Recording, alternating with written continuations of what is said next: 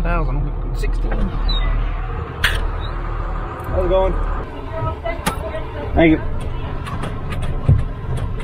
Oh, of course.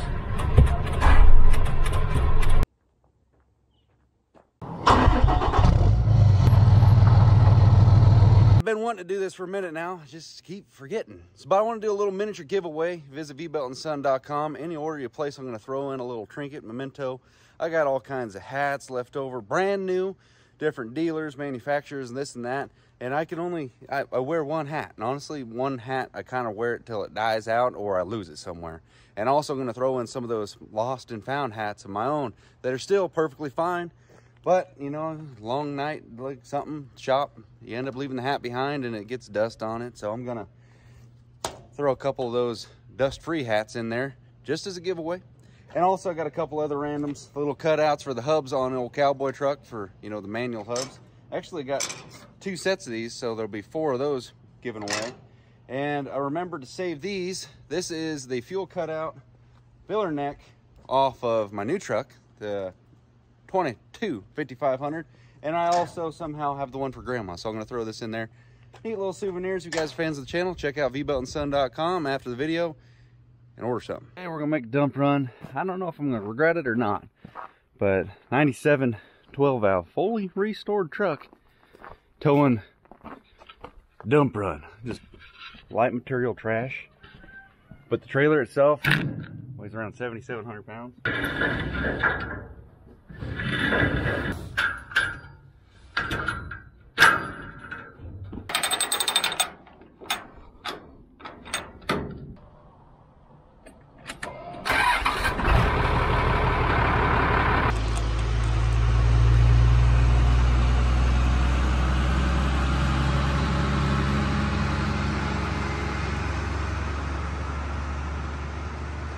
A lot of think I could beat the system with emissions and all that stuff by just putting a 6.7 in one of these older trucks, which is kind of funny because normally people take the 12 valve out of these and put in the newer trucks. They think they can go back and forth. These engines will generate a bunch of power. Reliable power, if you do it right, or it'll just make good fun power like this one does. And we're just going to run a little experiment. But the thing you got to understand is there's just not enough truck in play here to do much.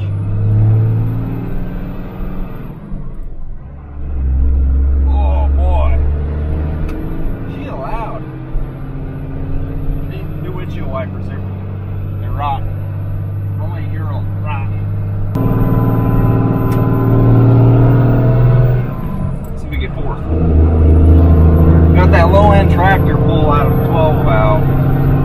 Modern trucks don't really have too much grunt down the hole like that. But again, I'd consider this a heavy load for this truck, light load for anything else I got.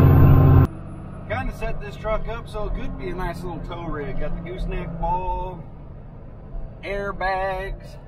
It's got one of these brakes for your exhaust. Oh, we got here. What time is it? Transfer station opens at 8, 756. We got a Diamond C Buddy right there. Oh, that's cool. I got yelled at the last time I was here. But actually it was that guy right there. That's the guy that yelled at me. he wanted to get in an argument on a Sunday morning.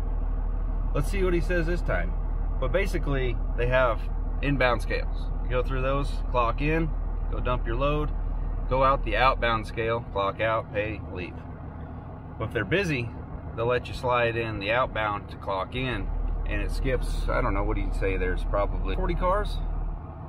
And you skip all those guys, and basically, we'll say Mini Buddy Diamond C right here, he'll be clocking in as you're leaving if you do something like that. Ah, God dang.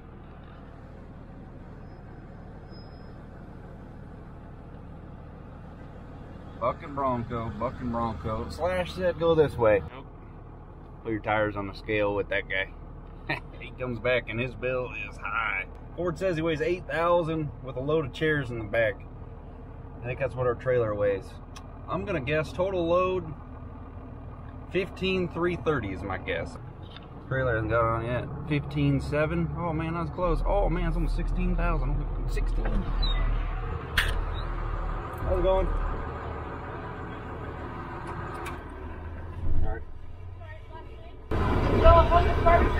Yeah.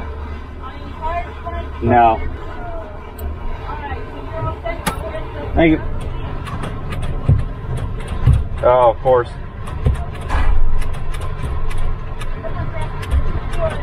Sorry, I didn't want to shut it off. It was acting up the other day. Oh. Go shut it off again. You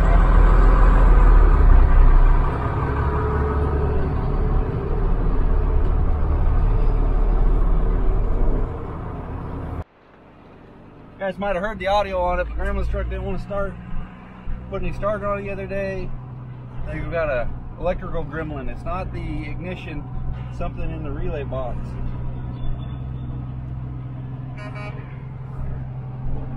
Back up, truck. I don't care. Let's see if we can get up here and find a slot.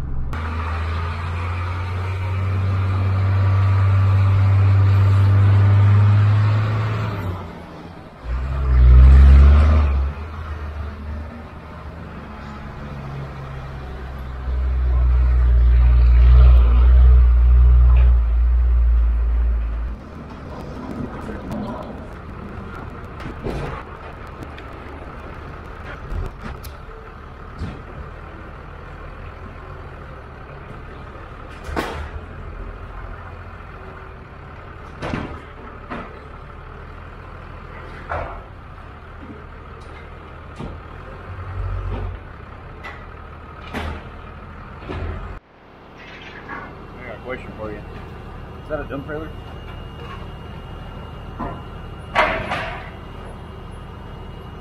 Think so.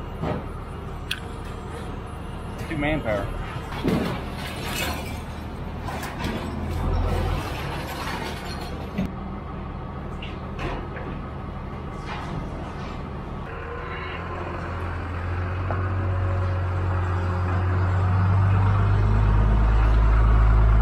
Not funny. There's a lot of brand new pickups. Not saying they're old timers and nothing driving them, but it's funny when they show up and deal with all this hassle for one garbage can, an armload of prunings. That's how long the wait is. Cut it, follow it. No, the other way. 500 pounds this junk. I left the house right at exactly an hour ago. One of those is a gear. NV 5600, man. How many times I tried to go to third and got first? Tried to go to third and got fifth. Oh, tall gears. Oh, it's got tow mirrors there, it's not flipped up. As sweet as old trucks are, it's honestly to tow an empty trailer, they act like they're towing a full trailer. Flat out does not care when it's an empty trailer. It doesn't care if it's got 15,000 pounds on it, which it shouldn't because it's quite a bit more advanced than this truck. I still gotta hand it to the folks back in the day, working at Dodge, Chrysler, whatever, to go ahead and put a tractor engine in a diesel, well, I mean, it's in a pickup, tractor engine, diesel pickup, generator engine, just a slow turning torque monster, all mechanical, standalone. All it needs is a starter electricity to fire it up and a solenoid for the fuel. And that sucker will run for his whole life, self-contained. These old 12 valves or something else. Pretty dang slick. All said and done, we made it home.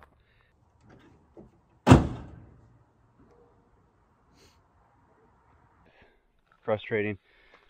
I'm looking at job pulled over here, chatting on the phone, shut the truck off, is sure, I don't know why. And then it did the same thing it did the other day at the dump. And I just put a new starter in this thing and acting up. So I'm gonna have to get the old, you know, we gotta go underneath her and then run across the terminals. See if we can get this thing fixed up a. Uh, see if I get you guys in there, because this is super, super jank and not ideal. Make sure your truck's in neutral, boys.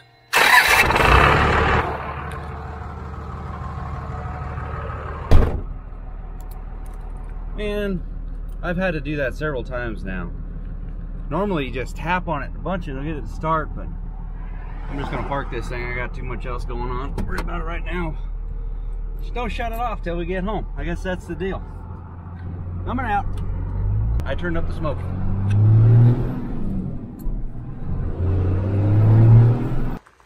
All right, ladies and gentlemen, let's get Grandma's truck fired up. Honestly, it's been a minute. By the way, the Bad Cherry keychains are on the website, V-Belt and Son, and those little little throw-in prizes. You can buy a keychain, I'll throw in something with it.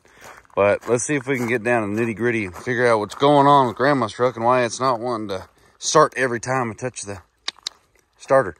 So, me and my boy changed out the starter actually, and that uh, I, the new one works, but periodically it doesn't work full time. So, got a couple ideas. We're gonna chase some wiring. Let's see if you crank right.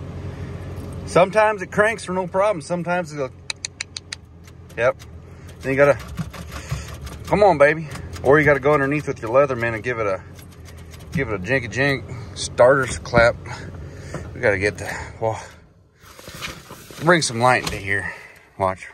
Come on, baby. And it's not a foot pedal thing because I disconnected that thing at 1.2.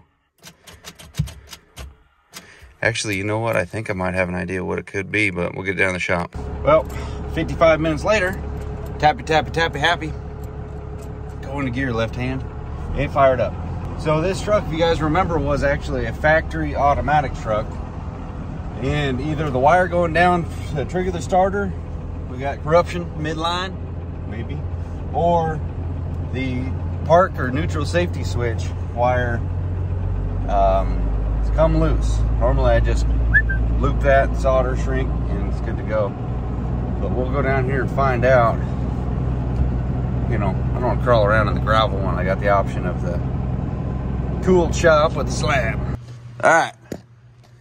This little dogger had been the problem before the little heat shrink solder just didn't bind together. Is that our problem again? No way. It's loose. You mother. Is it that simple? No. Am I going to have to put just a wire nut on this thing? Unbelievable. It is loose. Yep. What the? I've never had one of these fail until it failed the first time on this, and then it failed the second time on this. Just help me really understand that. It can't. What the? Well, that clearly could be an issue, but they were all jackstrawed together. Well, these have never failed me. All right, well, anyway, let's go up to the top and get a wing nut. Okay, I just have those two butted together. And again, this might be a simple fix, might be more involved, but got the test light down there. So if that thing lights up, that's on the stud for the starter. So that means power's going through it. No kidding. No kidding. All right, let's try it again. Well, I'm glad it's simple and it's been that problem every time. But I juiced up a new starter, put it in there. I don't even know what I did with the old one. Okay, well, let's go over here to the parts department and explore. Well, it's not parts department. We already went through the parts department, put the new starter on it. I really don't like putting these down there. But let's be honest, I've never had one of those fail either. What do you say? Put one of these on there and shrink wrap the old girl. Because we got that option too, right there. And then we have old not so trusty Red Lightning down here, who kind of does the job, but not really. Prefer the corded option because, well, it delivers a lot more BTUs. But you put this little deflector thing, come on, a little loosey goose. Put that thing on there so it actually gets something done, and we'll do the right thing and heat shrink it. Well, just went to war with that thing. Three different crimps, didn't fit ended up taking off the little plastic thing, which you didn't need anyway since I'm putting heat shrink over the top of it.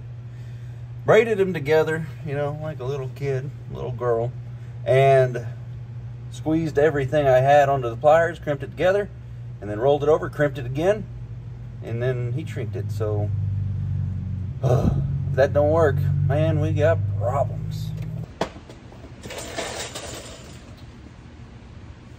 Moment of truth.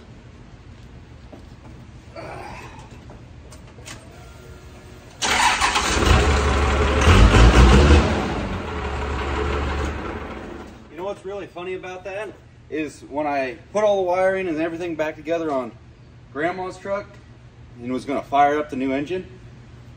Wouldn't start. I'm chasing wires, I'm checking all kinds of those, you know, switches that I told you could be the issue. And come to find out, it was one of those crimp connectors wasn't holding that wire together. The end of the original starter cable wire thing was all kinds of destroyed. And so I was like, well, I'll just do the, you know, smart thing, preventative ahead of time, put a new end on it. And well, it's been like a year since finished the truck and it started giving me those issues. Ah, month, month ago, something like that. That's how long ago. That video where it left me hanging out there that you're watching now, that I haven't driven it since because I just didn't trust it. And it ended up being that. Let's go take it for a drive. All right, I'm start answering the question of why I haven't done any second gen content, but I'm gonna elaborate on a few things that are going on in the shop. This is one of the first weeks I've been in the shop in the longest time because it's just been so flat out busy. 97 12 valve is my grandma's old truck. She pretty much ran it into the ground and I did a multi, multi video restoration process on this. Took me about two years and the truck is by far the most awesome 12 valve I've ever had. And I put the most money into that thing. But just to elaborate, this is literally the same truck right here. Like literally the same truck. 97 12 valve, but this one was a five speed. So it's got, you know, man's mission and a little bit more factory horsepower. This is not going to be a second gen anymore. It's going to be, like I said in the live feed, under that 66. So I'm going to get in the truck, we'll do a little driving, and I'm going to elaborate on the plans. Ah, what a treat it is to have the truck actually firing up. Build the confidence a little bit. Sounds funny. What the heck is that? I can make a Ford joke, but apparently people are sensitive to that. The Ford jokes, FYI, are an inside joke between my buddy and I. Um, I wouldn't say he's a die-hard Ford guy, but he owns a Ford. So whenever I make those jokes, it's not really pointed at you guys, and I'm not trying to fall back on my words, but him and I have had those Ford jokes for the longest time, and he's one of my better buddies, I'll tell you that much. The 12 valve saga, why I haven't been doing that stuff?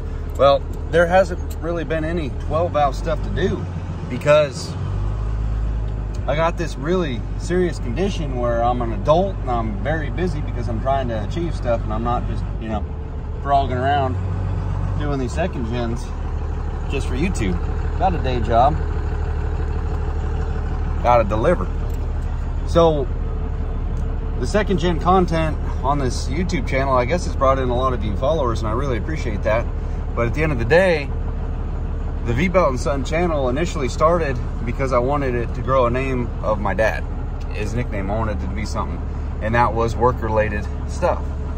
And honestly, the fake world YouTube has blended together a lot better with my real life with the work aspect of things. Like I've, I've never, you know, promoted and gotten big goals knocked off the list with this second gen Dodge stuff. I've had a couple kicks here and there, a couple kicks there, but it hasn't amounted to anything as far as with equipment and trailer and manufacturer side of things. It has opened up some serious doors and I've met a lot of good people through it. So that's why I kind of want to continue the V-Belt and Son channel in that manner because it's had a lot more success.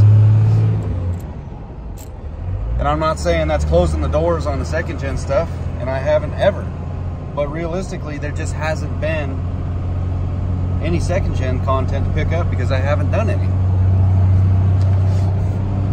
At the end of the day, the channel's been based on my dad and I right from the get, but then realistically, the guy that does the filming and editing and all the stuff, the channel, I'm filming my daily routine.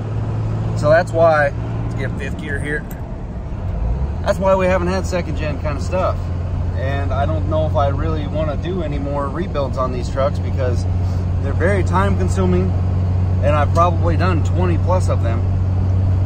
Know them inside and out, but I want to incorporate those and the other stuff.